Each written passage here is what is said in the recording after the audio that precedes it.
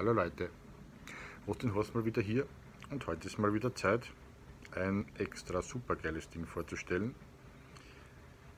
Nichts alltägliches für mich, sondern ein Messer, das ich immer schon angestrebt habe, so eins zu haben. Und es ist da. Dank dem Martin, was ein extrem geiler Typ ist. Also von der Art her und so meine ich jetzt natürlich eine außergewöhnliche Geste von ihm, dass er mir das überlassen hat. Im Prinzip, vereinfacht gesagt, hat er gesagt, du willst das Ding einfach mehr als ich, ich gebe es dir. Org. Bin sehr beeindruckt noch immer. Jetzt ein Marauder Thai in meiner Hand, der nicht mehr wegkommt weil das ist genau wie wir es für mich gebaut hätten, wie gesagt. Wir haben hier Marauder eben Thai. Thai bedeutet ausgewachsen bei Medford. Ausgewachsen in Sachen Größe, Länge halt. Und vor allem geht es bei dem Thai um diese Ansicht. Wir haben hier eine extra dicke Klinge. Ich meine, die normale Klinge ist schon dick von den Medfords, eine Full Size, aber bei der Thai-Version ist diese Klinge 6 mm dick. Nochmal ein bisschen mehr, ne? wie man sieht. Die Titangriffschalen sind die ja, dicken normalen, die es auch bei anderen es gibt, Radar Medford. Aber eben diese Klinge auf jeden Fall ist zusätzlich noch dieses Thai. Auch die Hardware, nämlich die Schrauben Clip sowieso, aber auch die Schrauben sind aus Titan. In dem Fall sind sie auch anodisiert. Wie man hier sieht, geflamed. So wie der Clip, auch geflamed. Also das ist eine absolute Custom-Version des Marauder. Aber das, glaube ich, sieht man sowieso. Falls bei der Klinge auffällt, dass da verschiedene Farben so durchschimmern, ich glaube, man sieht es ja nicht so schlecht im Licht, Vulkan Finish heißt es. Das heißt, hier wird die Klinge noch bearbeitet mit verschiedenen Methoden, damit man hier so Effekte erzielt. Also das Vulkan Finish ist. Schaut gut aus. Vulkan Finish ist halt, muss man schon ehrlicherweise sagen, nicht so beständig wie PVD oder DLC-Beschichtungen. Aber für mich ist sowieso egal. Für mich ist das ein User, ein Everyday Carry kann man sagen. Und Patina, was jetzt mit der Zeit dann sich ergeben wird, ist für mich komplett egal und passt zu Medford sowieso gut dazu.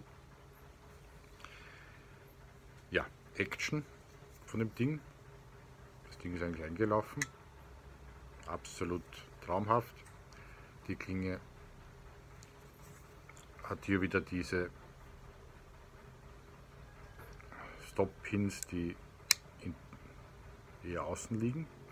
Es gibt ja auch welche, die sich versenken und so weiter, aber im Prinzip ist das egal, vom Putzen her ist es sogar leichter. Also Action, einmal mit dem Daumen, Look oder mit dem Mittelfinger flippen. Aber das Geräusch, wenn die Klinge einrastet, ist natürlich ein Wahnsinn. Massive Klinge, massiver Framelock hier, da steht er, haut alles natürlich wieder mal gut hin. Klingenspiel brauchen wir bei Medford nicht ja, ansprechen, weil Medford hat kein Klingenspiel. Das geht bei denen nicht. Irgendwie. Dafür sind die Toleranzen einfach viel zu eng. Einzige, was bei Medford immer ist, was irgendwie witzig ist, dass mit Centering ist, ja, in vielen Fällen einfach ein bisschen rechts, ein bisschen links und so weiter. Das ist bei Medford das Custom Centering oder wie man ja das auch nennt. Finde ich halt bis heute komisch, dass beim Centering das eigentlich egal ist. Aber ihnen geht es halt hauptsächlich um die engen Toleranzen. Passt schon so. Wir haben ein Gewicht bei diesem Ding, was jetzt viele abschrecken wird vielleicht, 313 Gramm. eine Länge von 24 cm.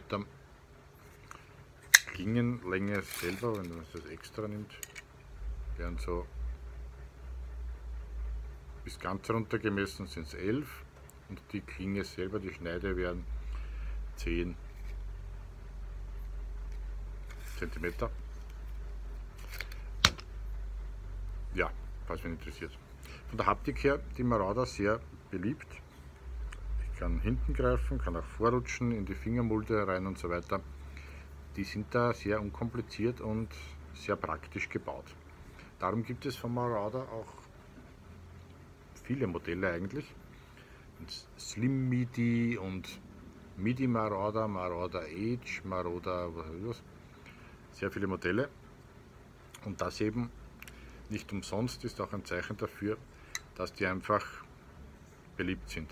Erstens von der Optik her gefällt es jedem und von ja, dem ganzen Drumherum sind die einfach sehr beliebt.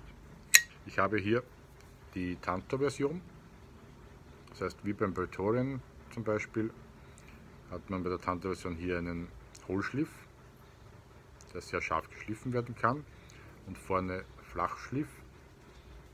Auf diese Weise ist die Klinge, hat sehr viel Material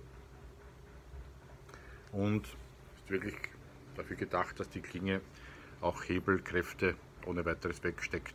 Was auch der Fall ist, wenn es interessiert.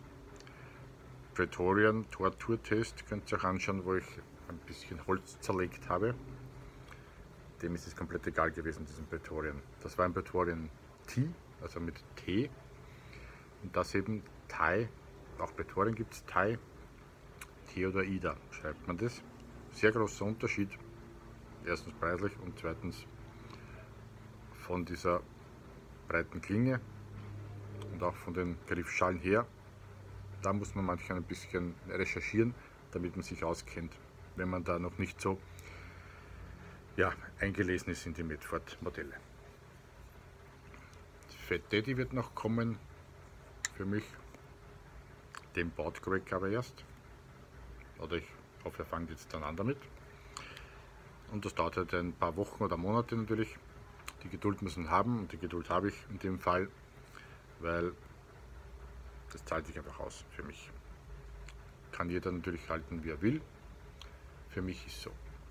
Die Klinge haben wir jetzt wieder, wer noch kein Medford-Video gesehen hat von mir, ausschauen. Die D2-Klinge, das Dora ist es. TPM D2 ist das, ein kein Billigsdorfer D2, sondern ein sehr guter D2, der extrem gute Eigenschaften hat in Sachen Schnitthaltigkeit, kann ich bestätigen, weil ich nutze ja diese Messer auch ständig. S35er wird es da noch geben und vielleicht auch einen 3V, weiß ich jetzt aber nicht. Wenn man sich beim Medford ein Messer zusammenstellen lassen will, kann man bei verschiedenen Modellen, könnt ihr mal anschauen, einfach ja, die Faktoren zusammenstellen, welche Klinge, welcher Stahl manchmal, wie der äh, beschaffen sein soll, BVD beschichtet, tumbled, was auch immer, welche Griffschale will ich auf dieser Seite, will ich die auch geflamed haben oder in irgendeiner Farbe, welche Griffschale will ich hinten, welchen Clip, also wie soll der bearbeitet sein, wie soll die Hardware ausschauen, die Schrauben. Kannst du dir alles in so einem ja, Messerkonfigurator auf Medford selber anschauen. Extrem lustig eigentlich. Selbst wenn man jetzt keines bestellen würde, allein dass man sich anschaut, man sieht dann auch gleich, wie das Messer dann ausschaut, wenn man drauf drückt. Könnt ihr mal reinschauen, ist vielleicht recht lustig, wenn der Fahrt ist, so wie mir dauernd. Ja, sonst, trotz der breiten Klinge, ich habe jetzt ja keine Haare mehr. Da haben wir noch ein bisschen was. Schauen wir mal, ob das Ding scharf sein kann mit dieser Klingendicke. Haben wir das gesehen? Die Haare sind weg. Na gut, dann haben wir da nochmal.